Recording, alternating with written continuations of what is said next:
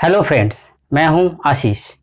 मेरा channel S TikTok में आपको हार्दिक स्वागत करता हूँ। आज का ट्यूटोरियल मैंने भारनियर कैलिपर पर बनाया है।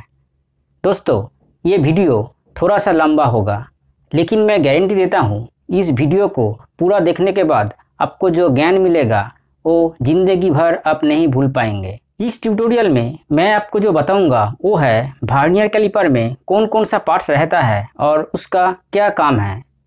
Main scale reading and vernier scale reading कैसे लिया जाता है? भार्नियर कैलिपर का लिस्ट काउंट कैसे निकाला जाता है? भार्नियर कैलिपर से मेज़रमेंट लेने का फॉर्मूला क्या है? भार्नियर कैलिपर में कितना टाइप का एरर होता है और उस एरर को कैसे करेक्शन किया जाता है? और कितने प्रकार का भारनियर कैलिपर होता है। इस वीडियो का लास्ट में आपको प्रैक्टिकल करके दिखाऊँगा। ये मेरा आपसे रिक्वेस्ट है। इस वीडियो में मेरे साथ अंत तक रहिएगा। अगर आप इस चैनल में नए हैं तो चैनल को ज़रूर सब्सक्राइब कीजिएगा। इस वीडियो में मैंने 1000 लाइक एंड 500 कमेंट्स का टारगेट रखता हूँ। आपका प्यार ज़रूर मिलेगा। ये उम्मीद रखते हुए मैंने एक छोटा सा इंट्रो के बाद शुरू करता हूँ।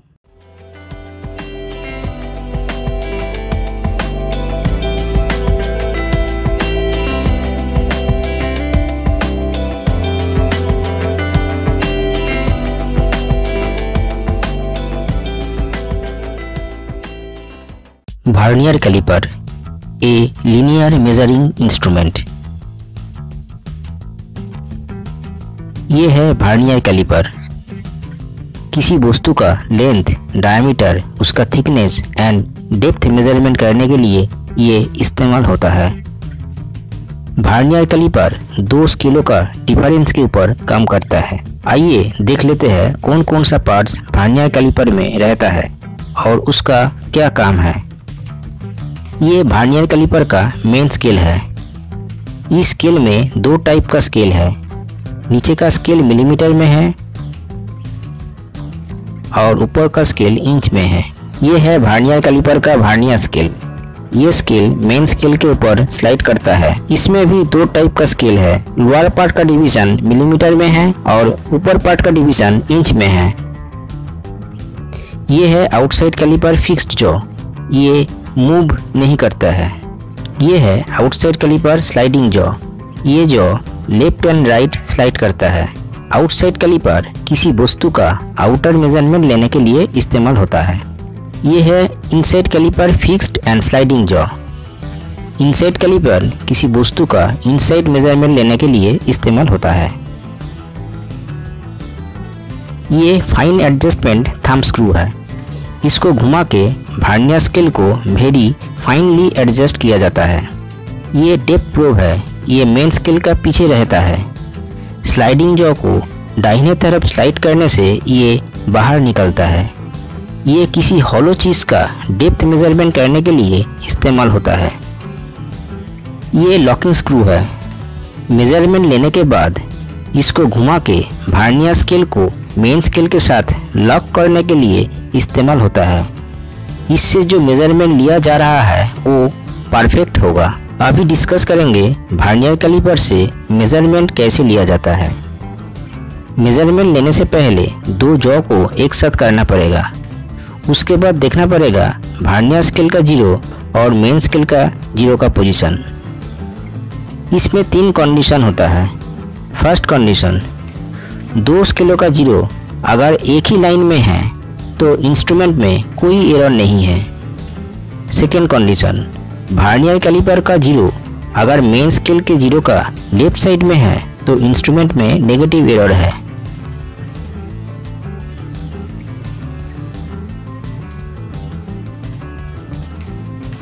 थर्ड कंडीशन अगर भार्नियर स्केल का ज़ीरो मेन स्केल के ज़ीरो का राइट साइड में है तो इंस्ट्रूमेंट में पॉजिटिव ज़ीरो एरर है। ये एरर का क्या इफ़ेक्ट होता है और कैसे निकाला जाता है, वो इस वीडियो में बाद में बताऊँगा। इस भार्नियर स्केल में 10 बड़ा डिवीज़न है।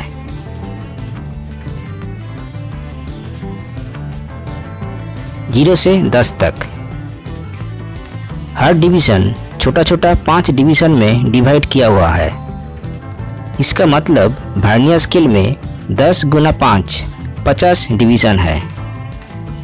अब देखिए, दो जॉ को एक साथ अटैच करने के बाद भार्नियर स्केल का जो लास्ट लाइन मतलब फिफ्टी डिवीज़न वो मेन स्केल का 49 मिलीमीटर के साथ एक लाइन में है। इसका मतलब हुआ 50 भार्नियर स्केल डिवीज़न 49 मिलीमीटर के बराबर है। आप सीखेंगे लिस्ट काउंट कैसे निकाला जाता है। लिस्ट काउंट निकलने के लिए वन भार्नियर डिवीज़न को वन मेन स्केल डिवीज़न से माइनस करना पड़ेगा।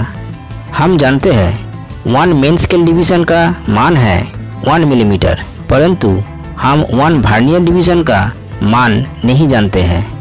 उसको निकलना पड़ेगा। 50 vernier division equal to 49 millimetre one vernier division equal to 49 by fifty equal to 0.98 millimetre so इस भार्नियर कैलिपर का काउंट है। फॉर्मूला के अनुसार 1 millimetre minus 0.98 millimetre equal to 0.02 millimetre किसी भार्नियर का लिस्ट काउंट का मतलब है, उस कैलिपर से सबसे छोटा वही मेज़रमेंट लिया जाना संभव है। आप जानते हैं मेन स्केल का रीडिंग कैसे लेते हैं। भार्नियर कैलिपर से मेज़रमेंट लेने का फॉर्मूला है। Main scale reading plus vernier scale reading into least count main scale reading के लिए हमको देखना पड़ेगा भार्नियर स्केल का ज़ीरो मेन स्केल का कितना मिलीमीटर पूरा पार करके आया। इसका मतलब भार्नियर स्केल का ज़ीरो का लेफ़्ट साइड का मेन स्केल का वैल्यू लेना पड़ेगा। इस एग्ज़ाम्पल में आप देख सकते हैं भार्नियर स्केल का ज़ीरो मेन स्केल का 25 मिलीमीटर पार करके आया और 25 मिलीमीटर और 26 मिलीमीटर के बीच में है। इससे हमको मेन स्केल रीडिंग मिल गया। वो है 25 मिलीमीटर अब निकलना है भार्नियर स्केल रीडिंग इसके लिए देखना पड़ेगा भार्नियर स्केल का कौन सा डिवीज़न मेन स्केल का डिवीज़न के साथ एकदम बराबर में है।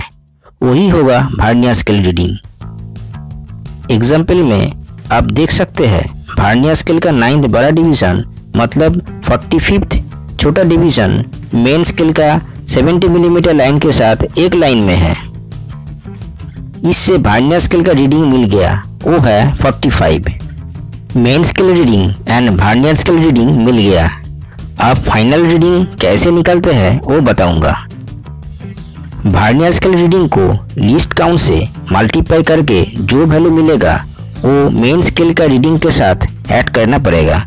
जो एग्ज़ाम्पल मैंने दिखाया, उसमें मेन स्केल रीडिंग है 25 मिलीमीटर भार्नियर स्केल रीडिंग है 45 लिस्ट काउंट है 0.02 मिलीमीटर सो फाइनल रीडिंग है 25 plus 45 into zero millimetre equal to 25.9 millimetre अभी सीखेंगे पॉजिटिव ज़ीरो एरर क्या है और उसको कैसे निकाला जाता है? पॉजिटिव ज़ीरो एरर के बारे में मैंने पहले ही बता दिया। आप पॉजिटिव ज़ीरो एरर का वैल्यू क्या है, वो देख लेते हैं। इस एरर को निकालने के लिए दोनों जॉ को एक साथ करने के बाद देखना पड़ेगा भार्नियर स्केल का कौन सा डिवीज़न मेन स्केल का डिवीज़न के साथ एक लाइन में है। मतलब को इनसाइड लाइन देखना पड़ेगा। भार्निया स्केल का जो डिवीज़न को इनसाइड किया हुआ है, उसको लिस्ट काउंट से मल्टीप्लाई करने के बाद जो वैल्यू मिलेगा, वही पॉजिटिव ज़ीरो एरर है।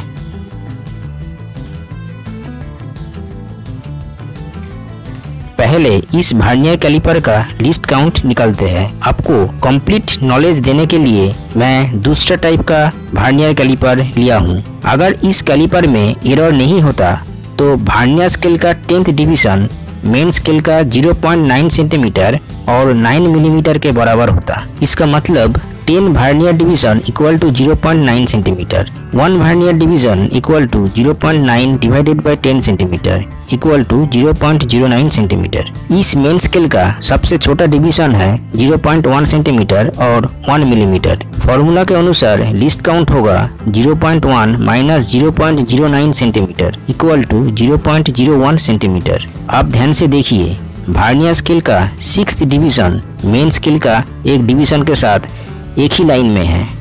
सो so, इस भार्नियर कैलिपर का पॉजिटिव ज़ीरो एरर है six into zero point zero one equal to zero point zero six centimetre positive zero error निकलने का जो तरीका मैंने बताया वो सेम टू सेम अप्लाई करना पड़ेगा नेगेटिव ज़ीरो एरर निकालने के लिए।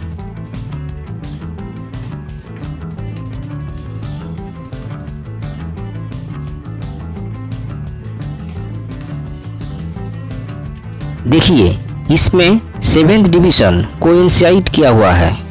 इसका मतलब इस भार्नियर कैलिपर का नेगेटिव ज़ीरो एरर है seven into zero point zero one centimetre equal to zero point zero seven centimetre. अब देख लेते हैं, एरर वाला कैलिपर से मेज़रमेंट लेने के बाद उसको कैसे करेक्शन किया जाता है। पॉजिटिव ज़ीरो एरर को करेक्शन करने के लिए एरर को फाइनल रीडिंग से माइनस करना पड़ेगा और नेगेटिव ज़ीरो एरर को करेक्शन करने के लिए एरर को फाइनल रीडिंग के साथ ऐड करना पड़ेगा। आइए, कुछ मेज़रमेंट लेने का तस्वीर देख लेते हैं।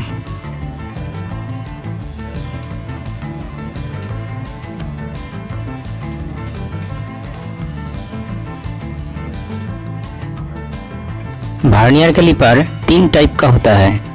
Analogue vernier caliper dial vernier caliper digital vernier caliper अब प्रैक्टिकल करके आपको दिखाऊँगा। चलिए, चलते हैं। इतना दूर तक मेरे साथ रहने के लिए बहुत बहुत शुक्रिया। हमको थोड़ा सा और वक्त दीजिए।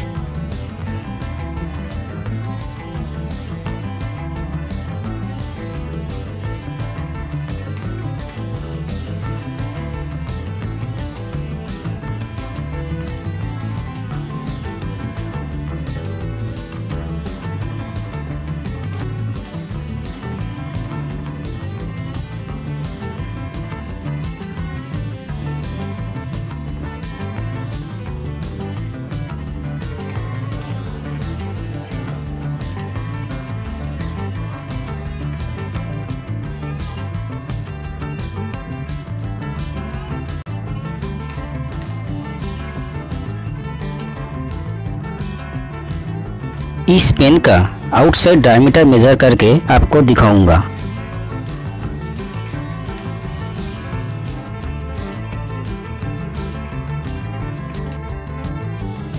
देखिए, भार्निया स्केल का ज़ीरो मेन स्केल का 7 मिलीमीटर और 8 मिलीमीटर के बीच में है।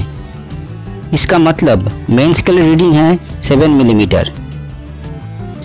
अब देखना पड़ेगा, भार्निया स्केल का कौन सा डिवीज़न, मेन स्केल का किसी भी डिवीज़न के साथ एक ही लाइन में है। देखिए, ट्वेंटी थर्ड भार्निया डिवीज़न को इंसाइट किया हुआ है।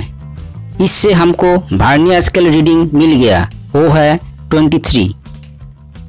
आइए देख लेते हैं, इस पेन का आउटसाइड डायमीटर क्या होगा। इस पेन का आउटसाइड डायमीटर है seven plus twenty three into least count 0.02 millimetre equal to 7 plus 0.46 millimetre equal to 7.46 millimetre कैसा लगा मेरा ट्यूटोरियल वो कमेंट करके ज़रूर बताइएगा। अच्छा लगने से लाइक शेयर और सब्सक्राइब करना मत भूलिएगा। एक नया टॉपिक लेके अगला ट्यूटोरियल में फिर से मुलाकात होगा। अलविदा।